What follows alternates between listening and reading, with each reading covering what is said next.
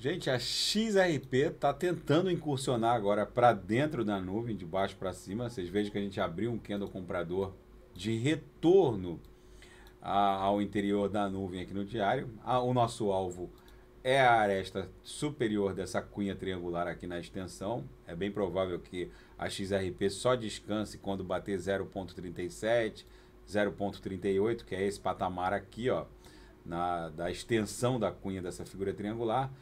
Aqui ela deve acumular, perder amplitude movimentacional para em algum momento explodir em direção a essa camada congestional desenhada por essa série de suportes em 0,60 e que agora vai se comportar como uma resistência. Aí a gente vai desenhar a onda 2 e a onda 3 vai levar a XRP para patamares mais altos, como essa série de cumes aqui, ó, na faixa de 0,90. Então vai ser uma onda 1, 2 e 3.